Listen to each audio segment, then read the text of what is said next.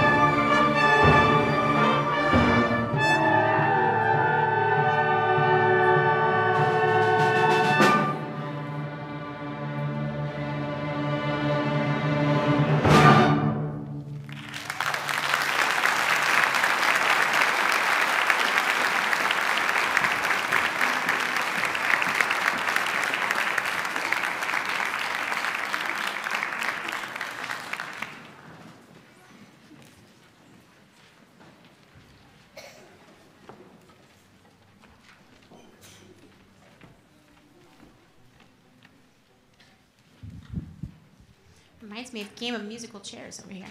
Um, all right, so I'm going to take a moment and put in a little plug for our CA Music Department fundraiser of right now. It is Fresh Fudge courtesy of Sweet Expressions from Main Street. And if you have not had the privilege of tasting Miss Denise Chapel's awesome fudge, you should definitely talk to one of the musicians in this department and buy some fudge. It will be here just in time for your sweetheart for Valentine's Day, or as something sweet for you for Valentine's Day. So you should definitely reward yourself with a little bit of fudge. Um, please uh, talk to one of these musicians. The orders are due on Monday, the 22nd, which is the coming Monday. So um, talk to them before then. Um, we've got pound fudge in uh, multiple different flavors chocolate, raspberry swirl, maple peanut butter, and rocky road, all for $15 a pound. Um, so we are so uh, thankful for you being here today, and we've had a lot of fun preparing these pieces together. Um, we have one final piece for you this evening. We ask that you please sit tight after Symphony Orchestra and Symphonic Band are finished. They will quickly and safely pack up their instruments and join you in the audience. Tonight's concert will be just under an hour, and it is so important to us as a department to show support to all of our students um, uh, performing this evening. So Chamber and, uh, Orchestra and Wind Ensemble have prepared an incredibly entertaining program that I know you will enjoy. So settle in, stay warm, enjoy Farandole, and then don't go anywhere.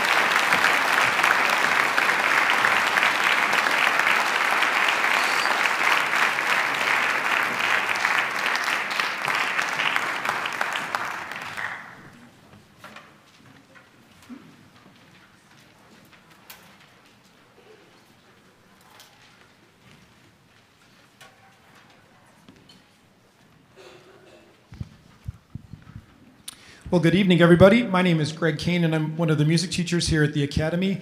I want to so thank everybody, particularly any families who were here from our first group, for um, staying here for the rest of tonight's performance.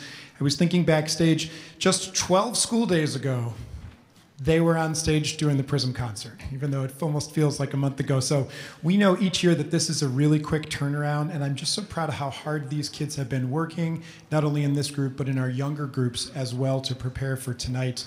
We do that on purpose so we can make way on this stage for our high school musical to move in so they can become the, the fully operational machine that they are every single year. So, um, our first piece of music, well, our third piece of music here tonight for these guys, my first piece that I'll be conducting. You're in for a real treat. You've probably heard of like the three tenors before, the famous, you know, the, the uh, those opera singers. This is unlike anything you've ever heard before, I promise you. Um, this comes from the deep halls of a musical conservatory.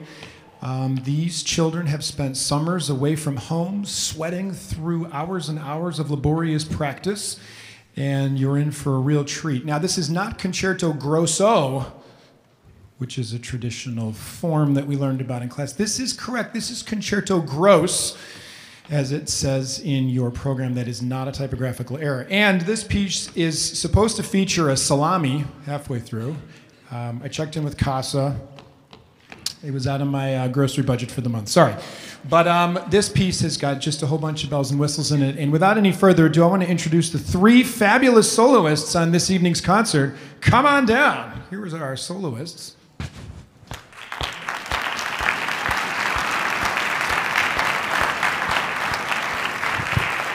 Who's over there? Let's see here.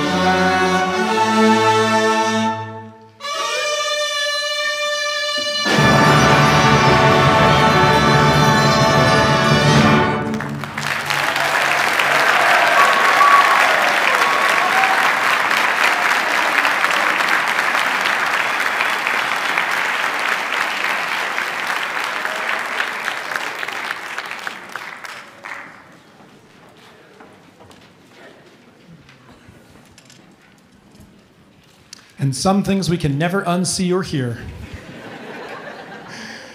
Thanks for playing along. That was a lot of fun. I looked up that composer online. I couldn't find a single thing about that human being. It must have been a fake name or something. It was like a pen name. Somebody really famous wrote it, and we don't know about it.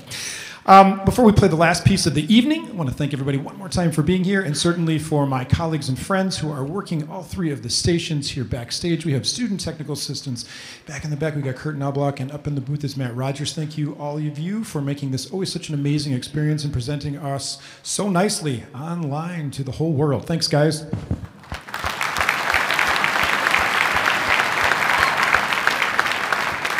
I also want to thank my colleagues, Diana Chase and Haley Moore. It is um, it's fun to work together so closely in a very small band room with 100 children at the same time.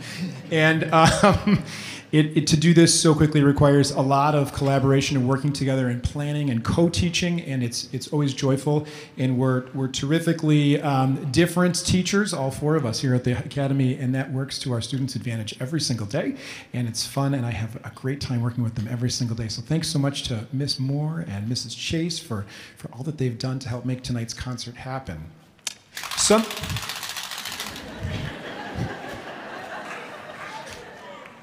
Think we're still stuck on the last piece there. Um, so sometime each year, um, invariably, um, we have a couple students who come up and have suggestions about pieces of music, and um, sometimes I go, oh, maybe, and then other times I go, ooh, that's a good one, and this is a good one. Um, this next piece of music was a suggestion by uh, one of our trombonists and wind ensemble, and very early on in the school year, he was like, hey, we should think about playing this. I think it was by just no, I'm just joking. It was by. Uh, the guy right next to our trombonist it was back there, uh, Jack playing timpani. At any rate, there were a couple of students who requested this next piece of music, and it's it's an incredible piece of music to perform and to listen to, and it's one of those pieces we've talked about. It's sort of an honor to sit um, to sit with this actual score in front of you and to play it. Gustav Holst wrote this piece of music. It is called The Planets, and it is much larger than just one movement. Um, but we're going to play just the first one, and this is the real ink that he wrote. It's not really watered down in any significant way whatsoever. Um, as we, each of us, maybe throughout our lives, has looked up into the night sky, you can only imagine uh, during Holst's time in life um, the things we didn't know about space and the wonder and the awe and the ominousness of a red planet up there in the sky and how that um, shaped humanity and perhaps the way this piece was written to have moments of beauty and wonder and great concern at the same time. So please enjoy our performance of the first movement of the planet's Mars.